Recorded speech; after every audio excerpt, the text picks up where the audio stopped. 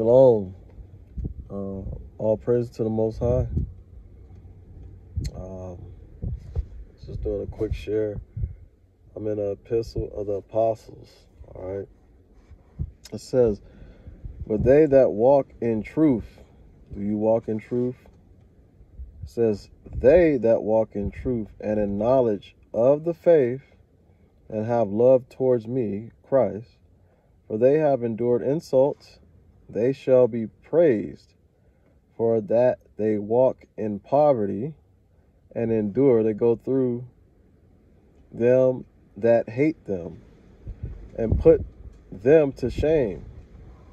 Men have stripped them naked for they despised them because they continued in hunger and thirst.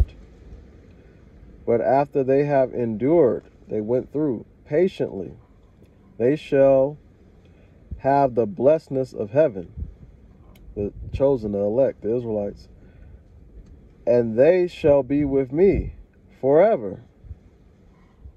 But woe unto them that walk in pride, those that walk in pride and boasting, for their end is perdition. How do you want your end to be? Do you want it to be in perdition? Pride um, pride there becomes fall. So, or pride, um, pride then there's destruction. So again, them that walk in pride and boasting, for their end is perdition, destruction. 39 says, And we have said unto him, Master, says Lord, is this your purpose that you leaveth us? Is this the reason why you leaving us to come upon them? And it says, um, Christ answered and said unto us, After what manner shall the judgment be? He's asking the question, uh, um, after what way shall the judgment happen? Whether righteous or unrighteous. All right. We said unto him, the apostles, Lord, in that day they will say unto you, you have not distinguished between the judgment. He says, Will they not say unto you, You have distinguished between righteousness and evil and good?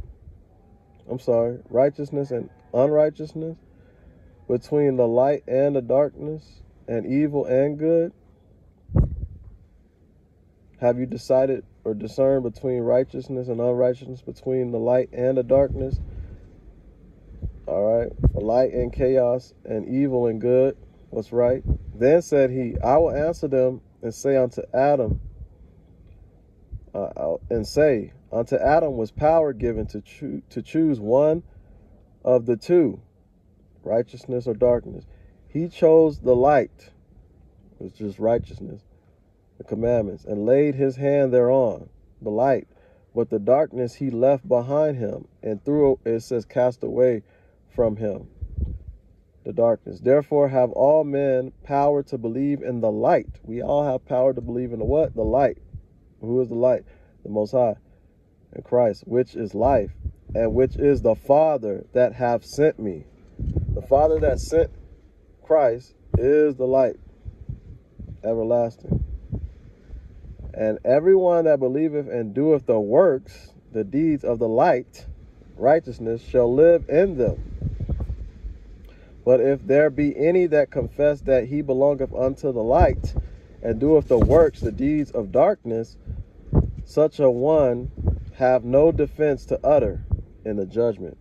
And neither can he lift up his face to look up to look up upon the Son of God, Christ the Word, which son I which son am I? He's the son of the light, not the darkness It says, For I will say unto him, this is what Christ is saying, as you soughtest, so have you found. Have you searched or seek, so have you found. Ah. And as you ask if, so have you received. Wherefore con condemnest you me? Why do you condemn Christ, O man? And wherefore have you departed from me, left from me, and denied me? And wherefore have you confessed me and still deny me. Have not every man power to live and to die? Whoso then keep my commandments, my laws, shall be a son of the light, the Most High. That is of the Father, Abba, that is in me, the light. But because of them that corrupt, uh, darken my words, I am come down from heaven, Shemaim. I am the Word. I became flesh. The Word became flesh, body. And I wearied myself, he suffered and taught this the heavy laden shall be saved, and they that are gone astray shall go astray. They shall leave forever. They shall be chastised, afflicted, all right, punished, and tormented in their flesh, in their what? Their body, and in their soul after death forever.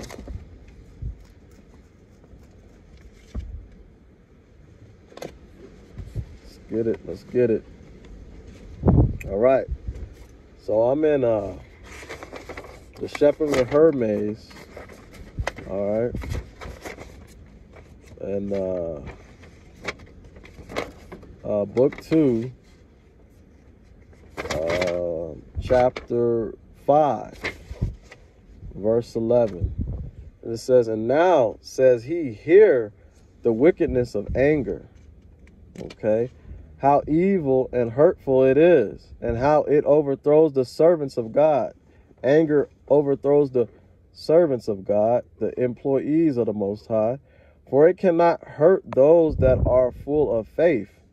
It cannot hurt those that are full of faith or work upon faith because the power, because the virtue of the Most High is with them. The power of the Most High is with them. But it overthrows the doubtful, the unfaithful, the unbelieving, and those that are destitute of faith, that don't have any faith, empty. For as often as it sees such men, uh, it throws itself into their hearts and so a man or woman is in bitterness for nothing, for nothing, for no reason, and for the things of life or for substance, material things, money, or for a vain word, if any should ch chance to fall in, or by reason of any friend, or for a debt, or for any other uh, superfluous things of the like nature, vain things. For these things are foolish, they're empty and superfluous and vain to the servants of the Most High. But equanimity is stronger and first forcible and of great power and sitteth in great enlargement and is cheerful, rejoicing in peace and glorifying the Most High at all times with meekness and this long suffering dwells with those that are full of faith. Those that are full of faith ain't angry. But anger is foolish and light and empty. Now bitterness is bred through folly. By bitterness, anger, and by anger, fury. And this fury arising from so many evil principles, worketh a great and incurable sin, a really bad error for when all these things are in the same, it says, when all these things are in the same vessel or man in which the Holy Spirit dwells. All right. So, for in all these things are the same, are in the same vessel, the body, or man or woman, in which the Holy Spirit lives. The vessel cannot contain them, can hold them, but runs over and because the spirit, being tender, cannot tarry with the evil one, it cannot stay with the evil one. It departs, it flees and dwells with him that is meek. And it, the spirit goes and rests with those that are weak, the ruach. All right. So let me let me um, grab what I want to grab, and I think I want it in the Wisdom of Solomon. So let me get that real quick.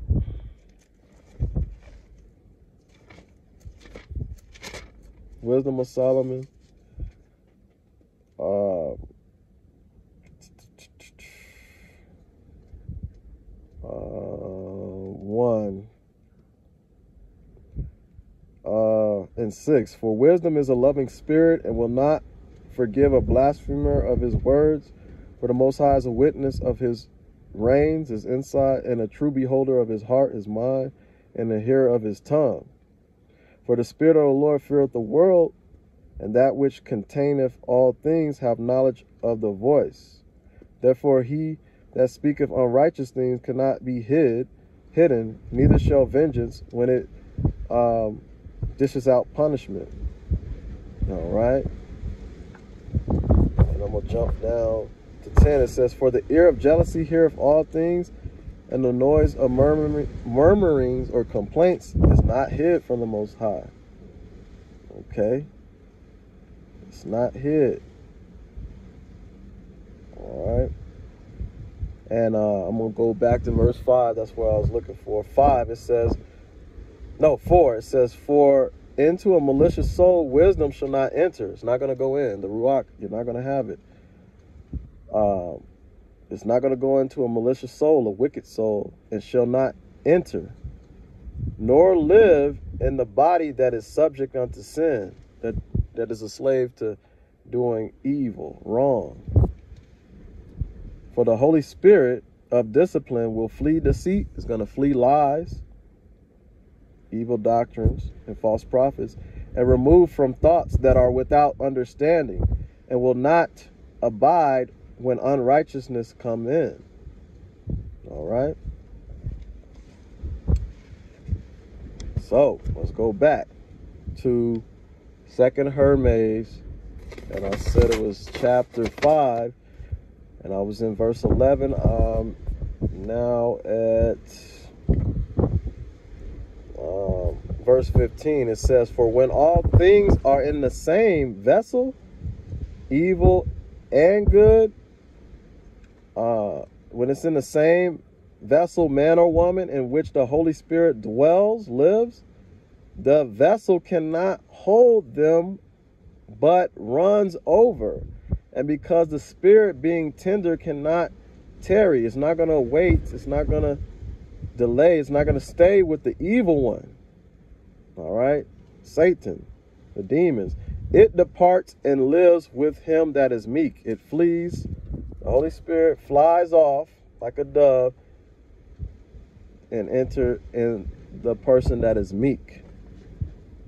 16. When therefore it is departed, when the Holy Spirit is left from the man and whom it lives in, the man becomes destitute, empty of the Holy Spirit, the Ruach, she, and is afterwards filled with the wicked spirits, the demons.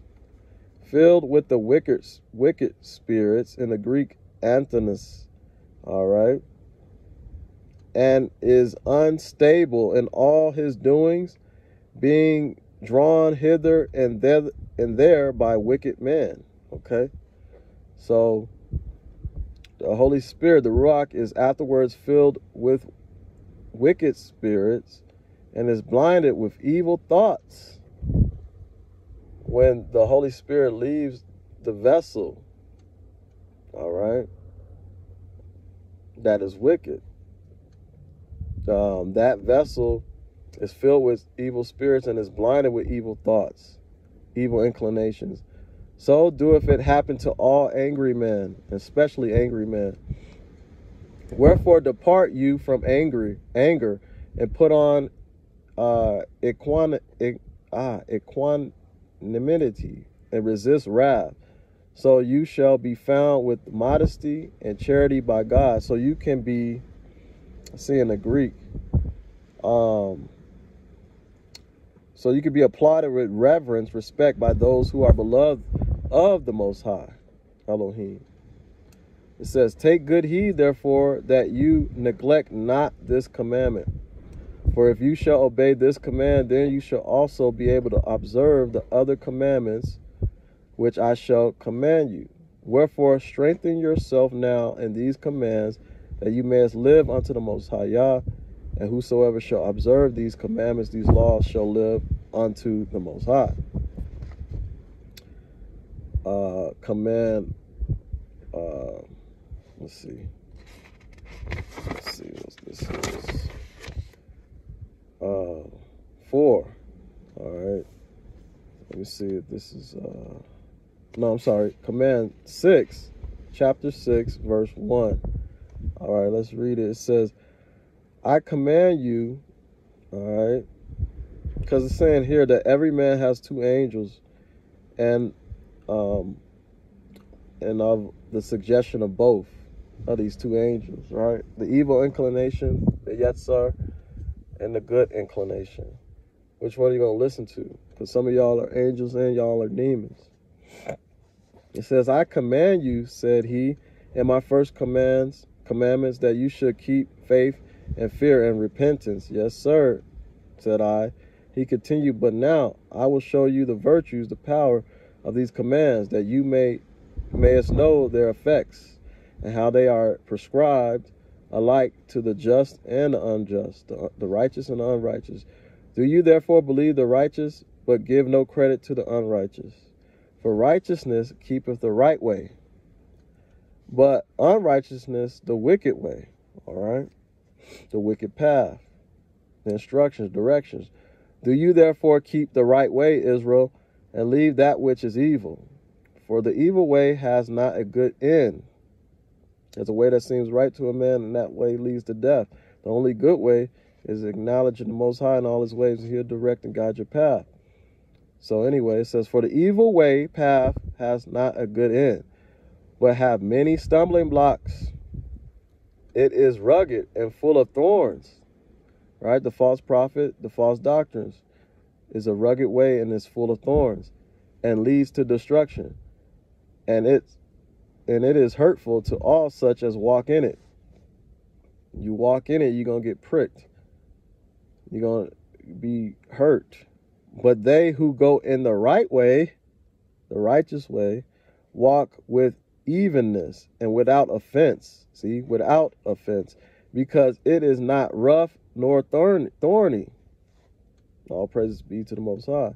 You see it, therefore, how it is best to walk in this way, this direction, this path. Take this course.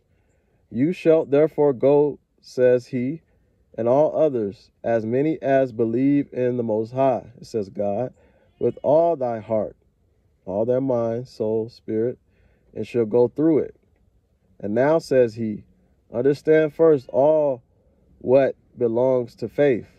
There are two angels with man, one of righteousness, the other of sin, iniquity. And I said unto him, Sir, how shall I know that there are two such angels with men? Messengers. Here, says he, and understand. The angel of righteousness is mild and modest and gentle and quiet.